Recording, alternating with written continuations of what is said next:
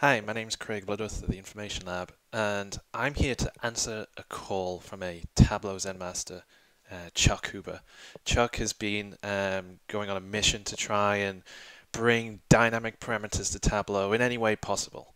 All right, we love Tableau, we love parameters, we just don't like the fact that they're static and we have to update them all the time when the underlying data changes.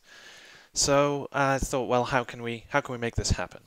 So Chuck, this one's for you. Now, let me just take you to a quick dashboard. My tool of choice um, for this is the, the JavaScript API. So this dashboard is rendered in the browser. We have this very simple dashboard of, of a map and a bar chart. As we'll see, uh, the map is from one data source, the bar chart is from another. Okay, so a classic use case of a parameter to do sort of cross uh, data source filtering.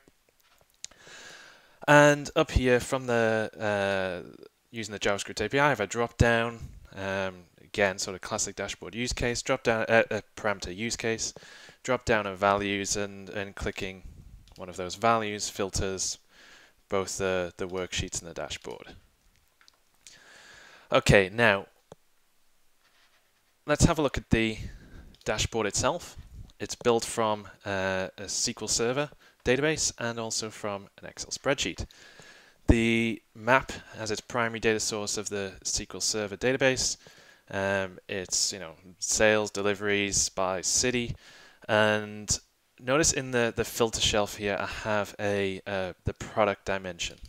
Okay, the product dimension is currently set to use all, but in the condition tab I have this formula that looks at the parameter uh, called product and tests whether it's equal to the dimension product. Okay, that parameter product is essentially a placeholder for the JavaScript API to insert its value to. Um, it's currently set to all, and when you change one of the this drop down to a certain value, it'll update this this parameter to the value you select, essentially doing the filtering for you. The bar chart is built from the Excel spreadsheet. Okay, so we're going across two distinct data sources, but again, it has this, this product filters value, again set, set to use all, and on the condition tab, it has that formula pointing to the product parameter. Now, if we were to go into uh, our database and let's say we've just you know made a new sale um, I'm going to insert in a new record. This sale was made in Bristol and it was a printer for £200. Let's save that. Okay. I'm going to hit refresh here. Now, if this was just a static regular parameter, I would have to go into Tableau Desktop, I'd have to add in printer to the list of parameters to be able to use it in a in a drop down within Tableau Desktop.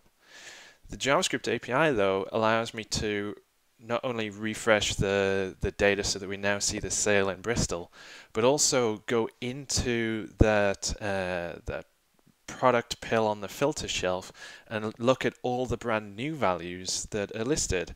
And what we'll find as we drop down here, we'll see printer is now listed. Hitting printer will filter to Bristol. And the, the bar chart, which if you remember is built from the Excel spreadsheet, doesn't have the printer in it. So it has nothing returned. I can still go change back to any other value or back to all the products. The code that makes this happen is, like I said, basically just going in. It, it's it's grabbing a, a, a dashboard from Tableau Server. When that dashboard's rendered, it then triggers a couple of calls to go into um, the the filter on each sheet that's present within the dashboard and present the, the different filters that have been put into the, the worksheet as drop downs in, in the, uh, the browser. Um, there's also a, a, way to control that. I've got a, like a little parameters list here. So if I had multiple filters and I only wanted, say, product to show up, I could just leave product in here. If I wanted to put other ones in, I could put others in this list and more and more drop downs would show up. All being dynamic, all essentially driven directly from the database. So Chuck, I hope that answers your, your call to action and uh, I'd love to know your feedback.